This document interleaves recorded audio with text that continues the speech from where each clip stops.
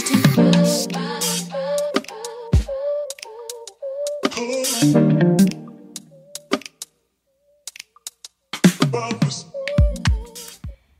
you guys, welcome back to my channel. I am here with a,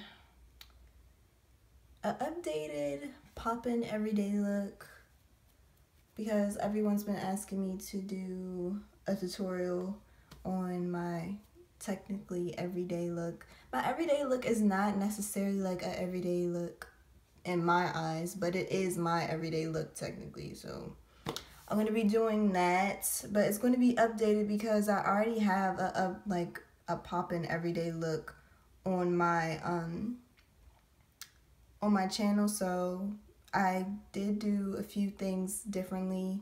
Well, I do a few things differently now in my everyday look. So um yeah, I guess that's why it's called updated.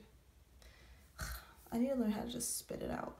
But anyway, I'm also going to be doing just a little chit chat with y'all because I know you guys like when I talk. Well, I've learned that you guys like when I talk in my video, so I'm going to be doing a little chit chat. Okay, so first I am going to prime my face with the Studio Perfect Photo Loving Primer by NYX or whatever.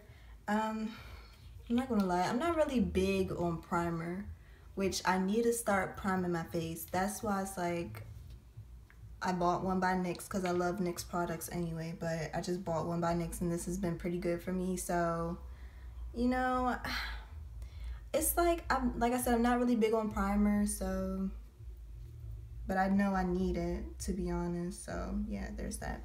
But yeah, just let's get into this little chit chat, I guess. Um I want like I don't know, it's just something that's been on my mind for like a little while now. Just because like I don't know, things change when you start to get more followers on like social media and things like that. Like as far as how people come at you and you know, stuff like that. So I don't know, it's just a lot of things with social media now. It just seems very unauthentic. And I know people already think that you know um well social media is unauthentic already well not in my eyes because for one i'm just online i'm the same person in person you know what i mean so it's like i didn't you know make an instagram or make a twitter or make snapchat or any other like tumblr or anything to try to live a double life, you know, like it's literally me in everything. So I don't know. That's why I always thought of um social media as like authentic in my eyes, but some people may think like, oh, it's just social media, it's everything's fake and things like that. Mm, not necessarily. So so like and also I know like a lot of you guys, well I'm letting my my primer set, but I know a lot of you guys want to say, well, you have a lot of followers. Like, why are you talking about social media and things like that? It's like, just because I have a lot of followers doesn't mean I can't talk about things like that. It's just some things that go on on social media is just like, it's just like, I think to me is unnecessary. Like, I know a lot of people do the things that I'm going to talk about, and that's cool if you want to do that that's on you. But in my opinion, I would never, you know, do anything like that. So I'm gonna put um, my foundation on. CoverGirl True Blend. I know you guys see me use this. This is like my go-to foundation, but the CoverGirl True Blend in the color D4. I'm just gonna put that all over my face. But yeah, it's just like I don't know. I guess I feel like it's unauthentic when it comes to people trying to grab followers, like people wanting followers and like just doing whatever just to get followers. Like, I don't know. And that's just also goes hand in hand to me, as in, I never really thought that I would be like popping online or, you know, have a lot of followers online. I never really wanted that to be me. Like, I never really been that type of person to be in the spotlight. I was always someone that was behind the scenes, quiet. It's like I wasn't shy. I was just to myself, you know. So I don't know. I guess this just goes hand in hand to why I feel like it's just doing too much when people just do extra just to, you know try to get followers and it's just like it just doesn't make sense to me so first i want to talk about on twitter now how um, people are doing these um, well not people but more so girls that have a k next to their follower count are doing twitter decks now if you haven't heard of twitter decks a Twitter deck is basically what girls do on Twitter. They, you know, DM girls that have huge followings or like big followings or at least have like a K next to their following count and they recruit them to be a part of their Twitter deck. And in that Twitter deck, it will have different girls that have, you know, a large following or, you know, K next to their follower count. And they would just I guess, communicate with each other and be like, oh, yeah, you know, everyone retweet this picture today, or, you know, like favorite retweet this picture today, you know, things like that. So, it's just a little odd to me. I don't know why. I, it's just a little odd to me. And it's like a lot of girls ask me to be a part of their Twitter deck, and I just like, most of the time, I just don't reply. But sometimes I do reply and just say no because I just don't think that's like authentic. It's like y'all just and it's like I feel like it'd be different if it's like they're picking girls that don't have like followers period, you know, that are just starting out and have like zero followers or like a hundred followers, but it's like y'all popping already and it's like y'all just want to get more popping. Y'all just want to get more popping and just you know, make each other popping. It's just like, I don't know. Like, I'm all for, like, girls supporting girls. But it's like, support all girls. Like, don't just support, don't just support girls that are, like, popping too. Like, show love to every girl. Don't just show love to the girls that is going to benefit for you, you know? Like, oh yeah, she's pretty and has a lot of followers, so let me put her in my Twitter deck. Like, show love to girls that are like business owners that don't that may not have a lot of following, you know, and things like that. Like, they just showing love like to other pretty girls that already have followers. Like, it just doesn't make sense to me, and it's just like. I don't know, just kind of shallow to me in a way. Like, that's just how I feel. Like, I'm sorry if you're watching this and you are actually in like participating in that type of stuff, like that's just my opinion. I'm sorry, that's just my opinion. And now I'm gonna be highlighting my face with the LA Girl Pro Concealer in medium beige. Now, I was using creamy beige, but it's too light. Way too light. So medium beige is like the just right color for me. But yeah, like anyway, back to like the whole Twitter deck stuff. But it's like you can if you you can definitely tell who's in a Twitter deck and it's crazy because after I actually found out what a Twitter a Twitter deck was and you know why people were asking me to do it, it's like I noticed you know the same girls re- retweeting each other the whole time like on my timeline stuff and it's just like y'all in that Twitter deck stuff, and it's just like they'll retweet the same pictures over and over, and I'm just like, bruh, like are y'all are y'all that y'all really want followers and retweets and favorites that bad? Like, bro, just post a picture, and if it does well, then it does well. If it don't, if it flop, then I don't know, delete it. If it matter if like if having like retweets and favorites matter that much to you, then just delete the picture. Like it'd be the same girls retweeting each other and it'd be the same picture. Sometimes it'd be the same exact picture like all the time. Or sometimes it'll be like of course newer pictures depending on if they like get a lot of favorites and retweets already. But it's like, bruh, like come on now no one wants to keep seeing the same picture. Like I know I've had to unfollow a few girls because it's like I noticed that they were in the Twitter deck. Now it's not because I noticed that they were in the Twitter deck, but I just noticed like y'all kept retweeting the same girls over and over, and I'm just like, like bruh, like I don't even mind seeing the same girls over and over, but it's like the same exact pictures though. Like, come on now. Come on, like I couldn't, I cannot, and it's like I'm gonna keep it real with y'all. Like I know there's probably a lot of girls that do this and a lot of girls that are wa- probably gonna watch this and be like, like, okay, like, I'm really not trying to throw no shade or anything. It's just like, it really is just like, what's the point? Like, and then it's like, I now notice that on Instagram, girls are starting to do, and it's, oh, and it's girls, it's just girls. Like, I never see guys do this type of stuff, but it's like, it's always girls. And it's like, I'm starting to see girls do shout outs again on Instagram. And it's like, I've had two Instagrams in my whole little Instagram career. And on those, like, on my first Instagram, I had a lot of followers. Never asked for no shout outs then. And then when I got my new Instagram, I literally started from scratch because I had to delete my old one because when I had my old one, I was in high school and I had gotten trouble with my mom. So my mom was like, delete your Instagram and stuff like that. I was so mad because I had, I had like, I had like 10K at the time and back then it was just like having 10k was like having a million. So i was so mad so i had to delete that and then i had to start from scratch. So this is like this is my second instagram. Didn't ask for no shout outs or anything because it's just like people gonna follow you or people gonna like not follow you you know? Like it's not that deep. It, like it was never that deep to me.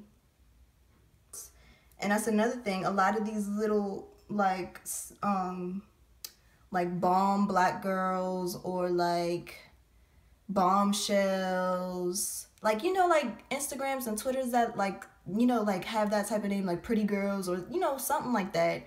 And you know usually and i found this out through a friend of mine who had a lot of well she's not a friend of mine anymore but you know she used to ask these you know, site these little um what they call these little social like you know they're you know those social networks the little bomb black girls whatever and things like that. She used to ask them to post her.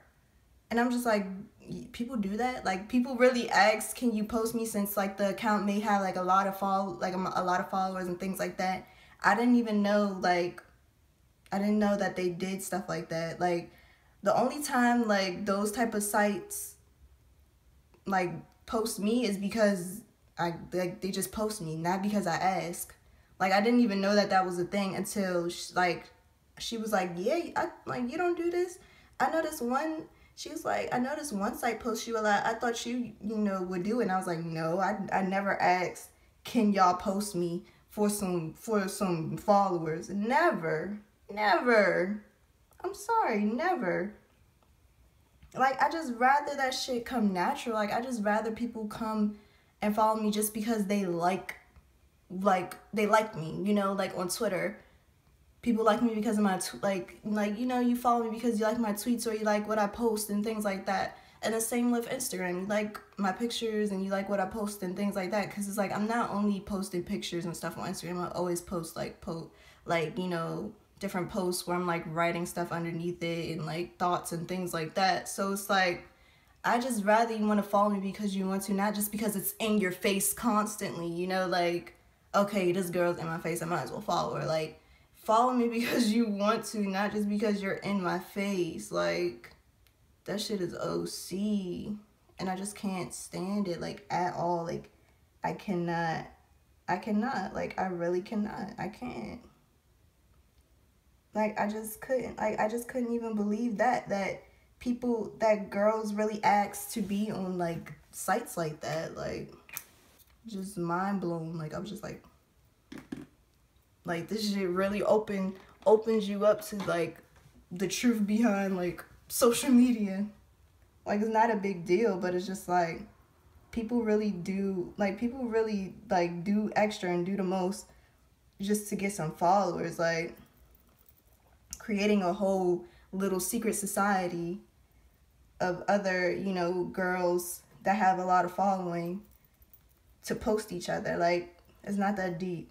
Just let just let that shit come natural, you know. It's really not that deep. Okay, to contour, I am using Chestnut by LA Girl Pro Concealer.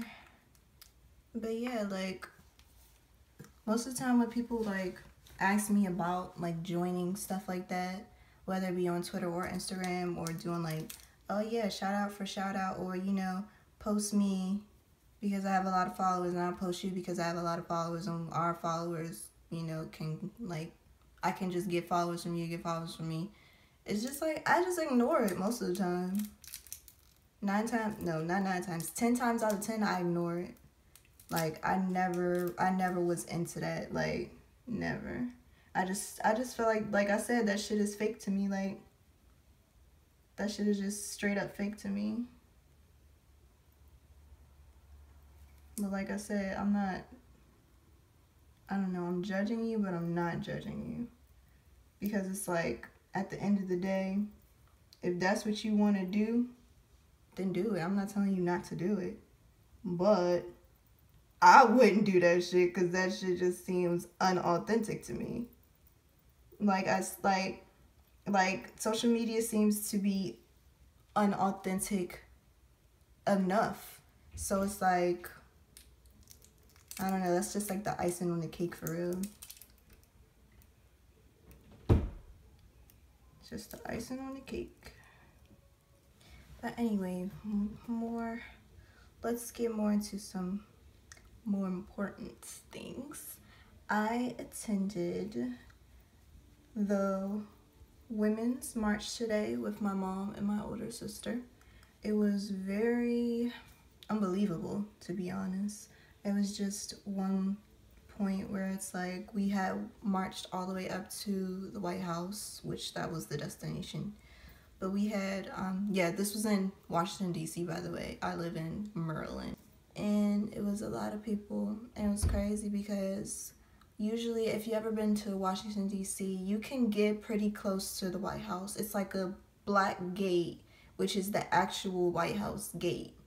And you can usually get close to that gate and like take your pictures and things like that. But they had that whole thing blocked off. Like I'm I'm telling y'all that they are really trying to protect this this Trump individual. Like they really trying to protect him like we couldn't even get as close as we usually get to the White House if, you know, Obama was still in office.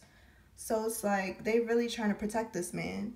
But anyway, we were up as close as we can get to the White House and it was just a moment where, you know, it was just quiet for a second because of like because of course people were doing like their different chants and things like that, but it was just quiet for a second and then I don't know where someone just says, Black Lives Matter, and starts chanting that, and I was just like, I'm, and then I'm like about to tear up right now because it's just like, dang, like that's love. Like, it's just to see all those people come together from all types of different walks of life, and it's just like, dang, like, dang, like it was just it was just powerful just to be there. It was just like it was just like wow. I was just like I was just in shock cuz like I started crying. I was just like whoa, like it was just un it was literally unbelievable. Like I really couldn't believe the sight and the um just the sight and just to hear that period is just like dang, like it was just it was just powerful to me. I have a song back there. I adopted it. I'm not gonna lie. I didn't make this sign, but I did find it. Um, cause I had I actually got to the march pretty late, but the march didn't even start on time, so technically I was kind of on time. But by then, of course, you know some people had went home and things like that. So I adopted a sign that someone left is very cute. Yes, I bought it home and everything. But yeah, this is what it says. Not my president. Trump urine competent. it says urine. It says urine. Urine competent, like you're incompetent. No, urine, like piss, like pissed off, basically. And then the back just says, um, Trump equals disgusting. So whoever made this, hopefully you peep me out or something because I really love this and I adopted it. So thank you for my new baby. Thank you for my new baby.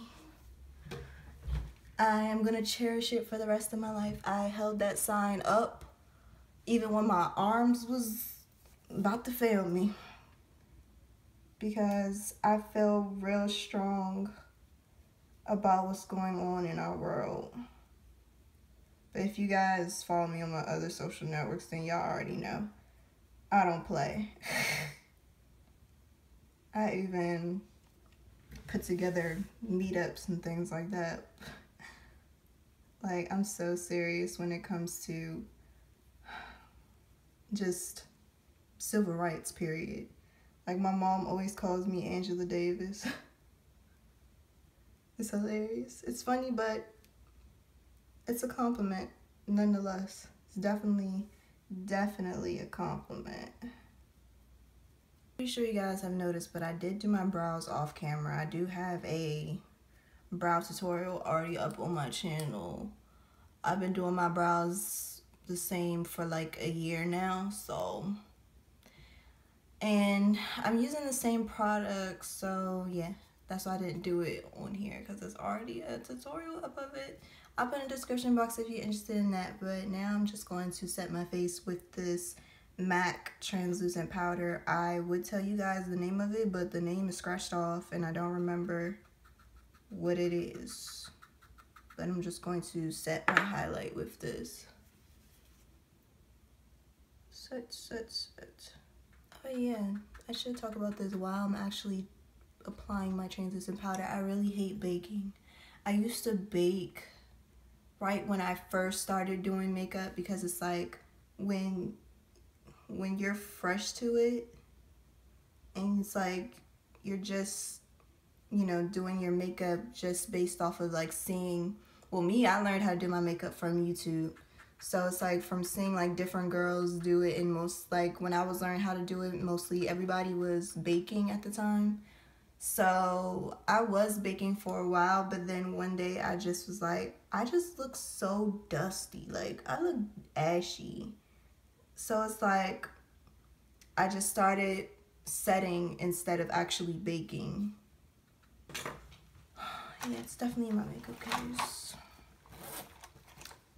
Yep. So right. See, I'm just gonna um set my contour lines with the City Color Matte Bronzer. I use most of the same products that I've been using since the summertime, you know? Okay, so now I'm going to use this blush by MAC called Blunt. It's just like a regular brown blush.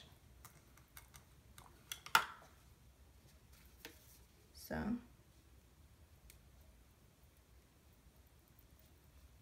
Like this is supposed to be everyday popping look, so don't really want to do too much color on my cheeks. Now I'm going to be using the Lashes by Lana highlight palette um, and Lemonade.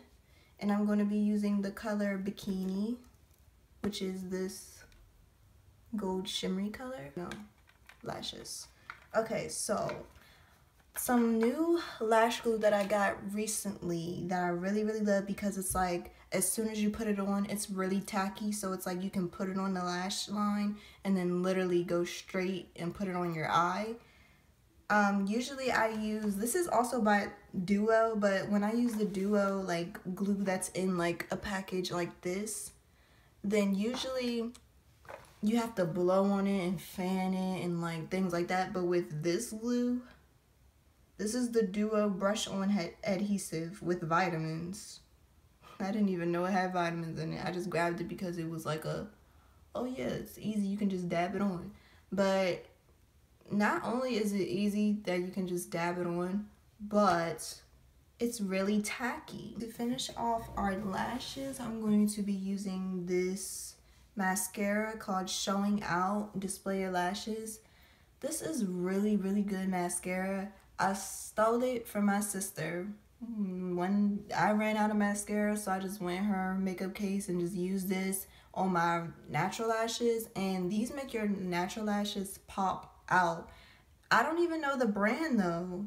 It just says Showing Out Mascara, Blackest Black. So I guess that's the brand. It's called Showing Out. Unless the brand is W7. I don't know. I will Google it and I will put it in description box because this is some poppin' mascara. Okay, and for my lip, I'm going to be using some Classic Lip Balm Carmex. Yeah, that's right. Everyone always asks me, what lip gloss do you use? Carmex, girl. I use that good old Carmex.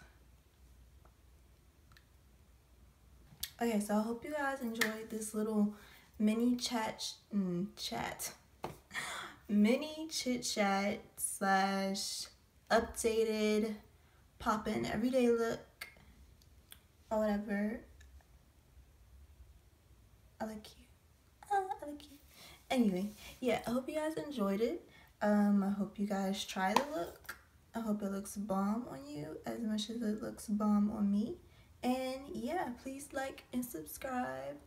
And thank you, as always, for watching.